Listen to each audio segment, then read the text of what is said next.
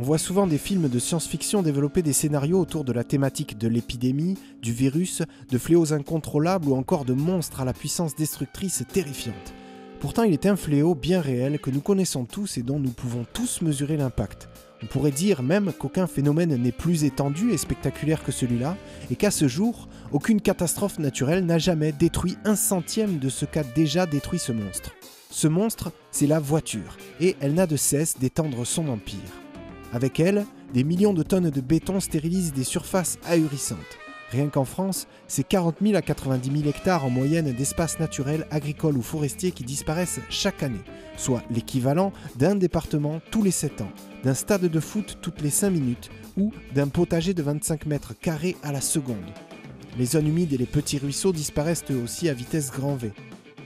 Dans les conseils généraux des départements les plus urbanisés, on commence à estimer des dangers de souveraineté alimentaire, c'est-à-dire qu'en cas de pénurie de pétrole, il n'y aurait dans ces départements plus assez de surface agricole exploitable pour nourrir les populations et l'acheminement de nourriture venue de zones plus lointaines serait très compliqué.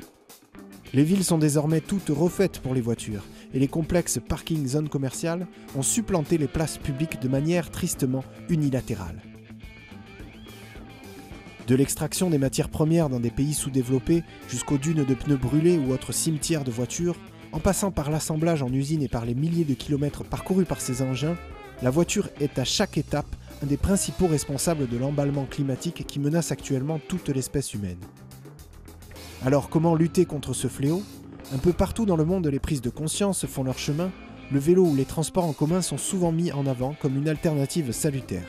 Mais tous les efforts de la société civile paraissent inoffensifs par rapport aux puissances financières que sont les multinationales et aux pratiques de certains États qui subventionnent à hauteur de plusieurs milliards le secteur automobile, comme c'est le cas de la France qui prétendait pourtant lutter contre le réchauffement climatique en accueillant la conférence mondiale sur le climat en décembre dernier. Alors la voiture, quand est-ce qu'on arrête d'en fabriquer?